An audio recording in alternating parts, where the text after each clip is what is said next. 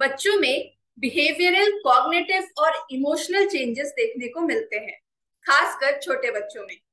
ऐसे में इनके इलाज के कई तरीके होते हैं, जिसमें से एक है रिहेबिलिटेशन थेरेपी जो कि आज के समय में काफ़ी जाना माना हो चुका है। नमस्कार, आज हमारे साथ बिजनौर से धनवंतरी चाइल्ड रिहैब सेंटर के डायरेक्टर डॉक्टर उमर नाजिर जुड़ रहे हैं। डॉक्टर उमर एक सीनियर पीडियाट्रिक रिहैबिलिटेशन थेरेपिस्ट है, जिन्होंने तीस हज़ार से ज़्यादा बच्चों का इलाज थेरेपी से किया है। स्वागत करते हैं। बहुत बहुत स्वागत है सर आपका।